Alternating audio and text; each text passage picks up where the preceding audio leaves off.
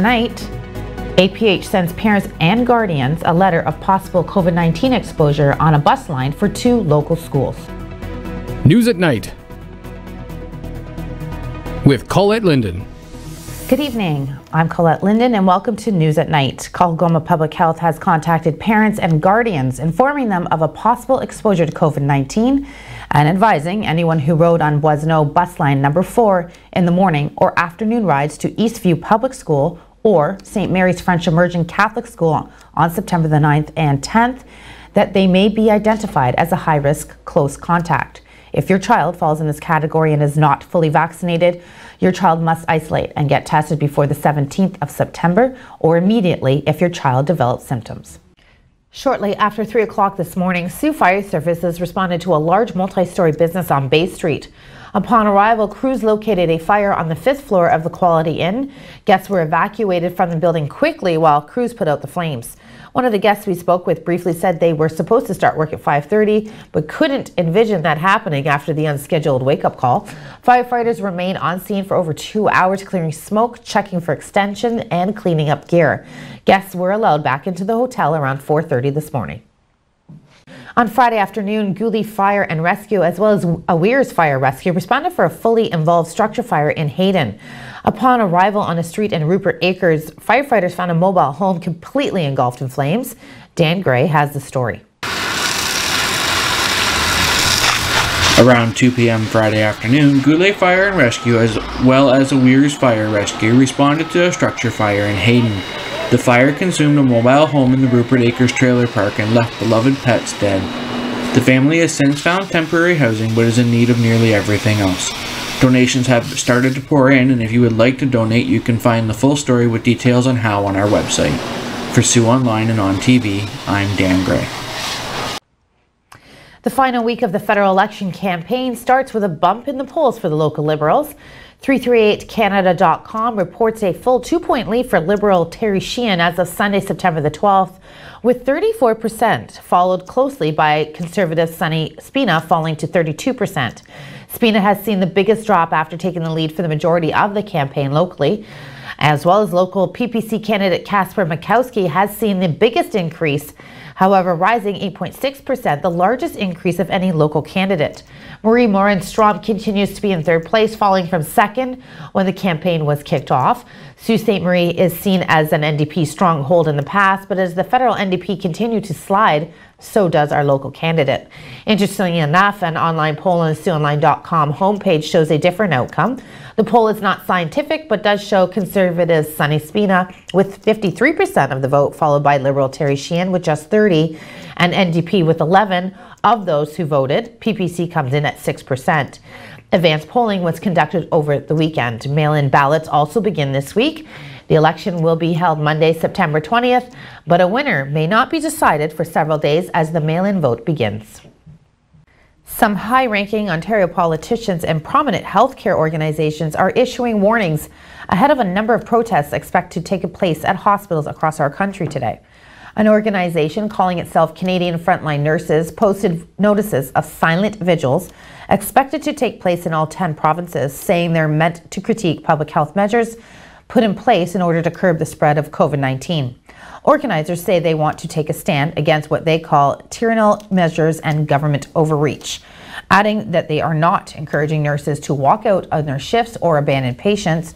Ontario Premier Doug Ford, whose province was among those targeted by similar past protests after he announced plans for proof of vaccine system, condemned the latest round on Sunday in a tweet describing such events as selfish, cowardly, and reckless.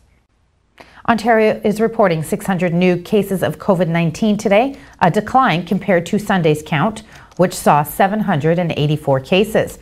There are six additional deaths being reported. Two of those were more than one month ago, but due to a data cleanup reported today. The number of resolved cases are higher than the new infections, with 627 people recovered. Toronto is home to 114 new cases. Peel is seeing 84, with the region of York at 67.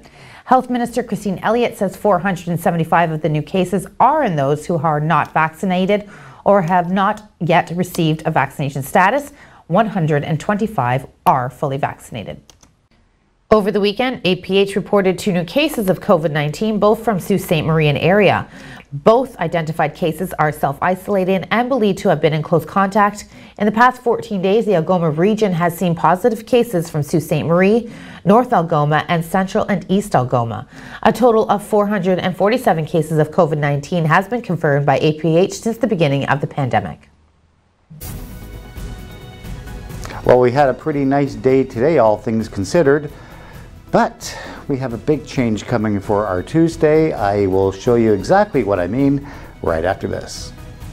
On TV News, supported by Tenaris Algoma Tubes. Kickstart your career. Tenaris is rapidly growing in Sault Ste. Marie and looking for individuals interested in rewarding production and technician roles. If you are ready for a progressive career opportunity with benefits in advanced manufacturing, then please send your resume to resumes at tenaris.com.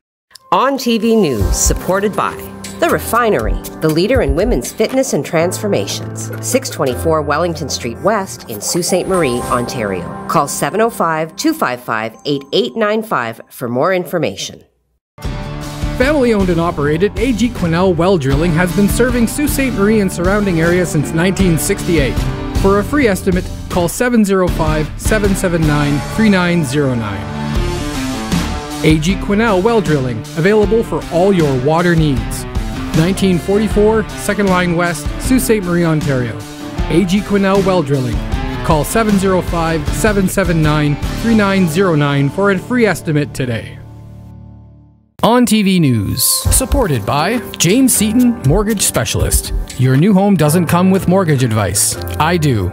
Call James Seaton Mortgage Specialist, RBC 705 975 1519.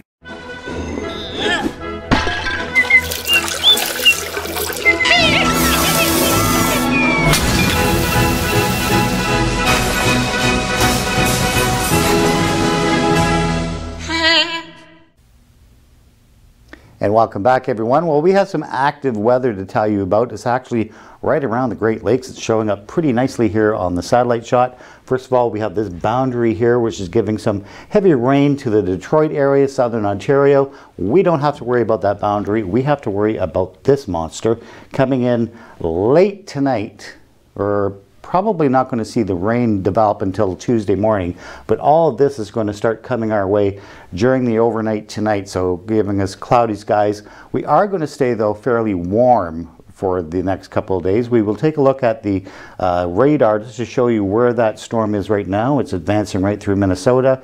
It's uh, expected to be here in about eight to nine hours, uh, and then we're going to start seeing some heavier rain showers uh, come in for Tuesday. And keep in mind, this is traveling up a jet stream, which means it's almost like a, a transport truck driving up the mile hill. It's going to slow down a little bit, which means prolonged showers. Uh, for the Siouan area for our day on Tuesday. We'll take a look at temperatures for the overnight tonight. Not bad, 11 degrees here in the Soo, 9 degrees in Wawa, a little cooler as always usually. In Timmins at 7 and 10 degrees in Sudbury. Uh, and we're we're going to have some half decent temperatures for our day tomorrow. Actually, it's going to feel like a summer thunderstorm or a summer rain shower because we're going to see some humidity build into the area as well. We'll take a look at the systems map. I'll show you exactly what we mean. So we have this high pressure system which continues to pump up the warm air into this low pressure system. This is all, as you can see, making its way into the Great Lakes. And uh, this is also some humid air too.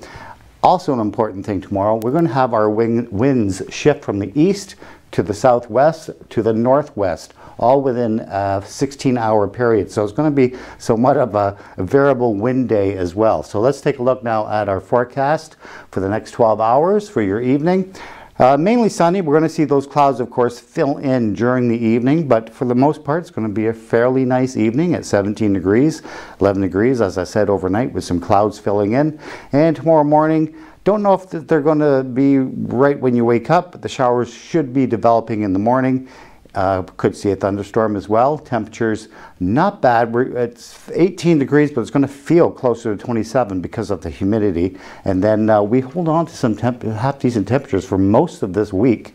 Uh, but We do have a system coming in for Friday and Saturday, and we also have a system now coming in for early next week, which could also give us a pretty good soaker. Uh, keep in mind, we're going to get around 25 to 30 millimeters of rain from the system for tomorrow, so it's going to be a pretty wet Tuesday. That's your weather right now. Jacob is taking another day off. Imagine that. So we're going to send it right back to Colette right after this break.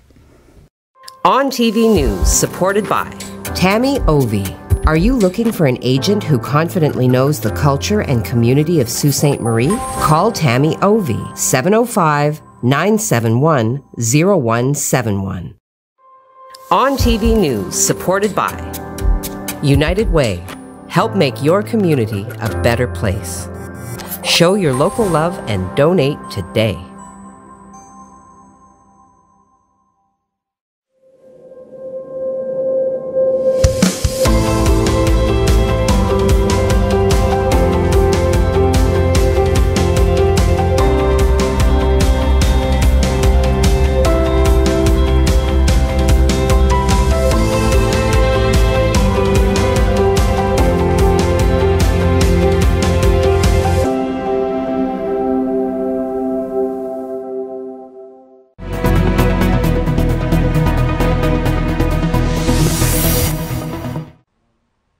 City of Sault Ste. Marie is launching its new Arts and Cultural Assistance Program.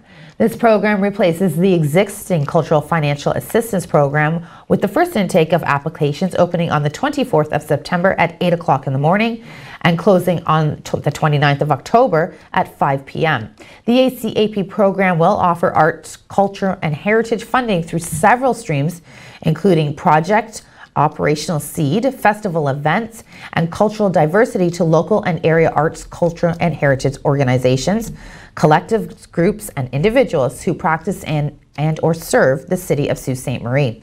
The new program will also offer two intakes to better support the needs of the arts, culture, and heritage sector. Details on this program, including guidelines, application process, and other supporting documents, can be found on the city's website. When Council meets for the first time in over one month tonight, they will be facing a moderately sized agenda containing some big plans. The big ticket items, including a vaccination policy and a plaza pre-spend, are mixed in with scheduled conversations around a Welcome to Sault Ste. Marie initiative and our addictions and mental health capacity in the city.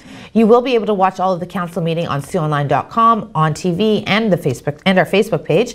You can also find the full agenda on our website. The city's shopping cart bylaw that outlines a comprehensive system for the regulation of shopping carts in our city is now in effect. As part of the bylaw, business owners who provide shopping carts to their customers are required to develop and file a plan with the city's Director of Public Works and Engineering Services, identifying which measures it will take to keep the carts on their property or to retrieve them. The plan must include details of the business owner's operation and timeline of how carts shall be ret retrieved and returned to the business owner's premises. A description of the owner's carts included any, any easily identifiable features and the contact person and information for the business owner who will be called if carts are found off site. The bylaw outlines various details for businesses, including customers removing shopping carts from a business owner's property. The bylaw also provides enforcement tools in the event of non-compliance. That includes written notice to the business owner to collect their cart and a fine of up to $5,000 per day for non-compliance.